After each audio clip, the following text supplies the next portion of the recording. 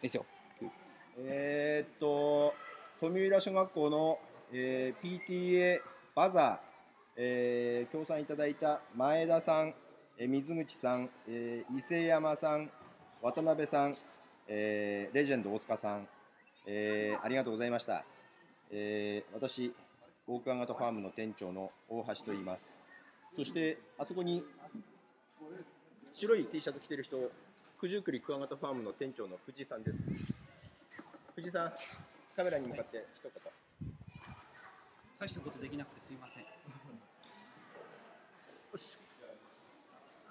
えーっと、今、2時40分ですけども、3時から、えーバザーを行います。えーバザーを行っている模様をお伝えできるかどうか、ちょっと不安ですけども、まああのー放送できるようだったらあー撮ってもらいますので、えーあと20分後お楽しみにしてください。本当にこれこれこ